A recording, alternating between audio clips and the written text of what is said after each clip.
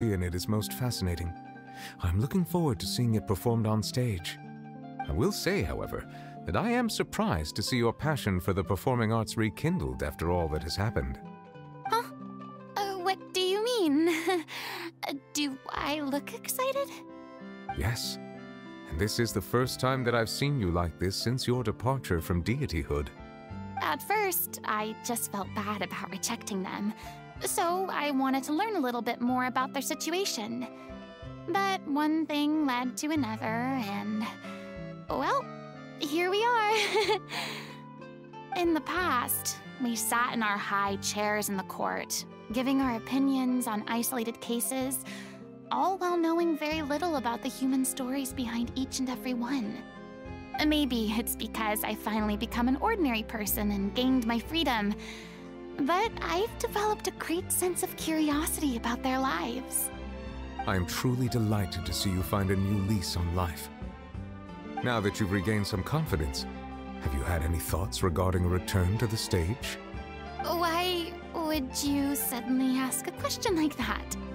Well, if the Little Oceanid turns out to be a great success, it will no doubt become a classic. Many theater companies are certain to add it to their repertoire. The experiences and decisions of the protagonist Cleo are all modeled after your own. Naturally, this makes you eminently suited to playing the leading role. It would truly be a shame if you did not take this opportunity to allow audiences to enjoy your outstanding acting talents once more. Haven't I already made myself clear? I won't act or perform in any role ever again.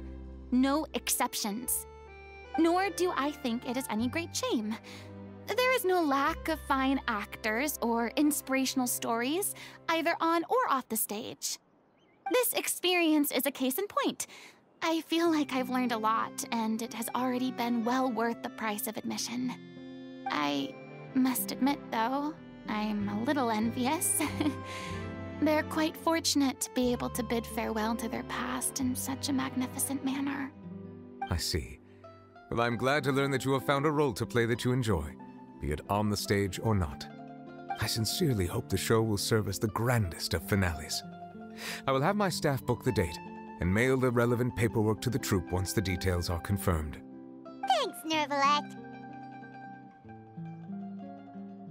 You are very welcome.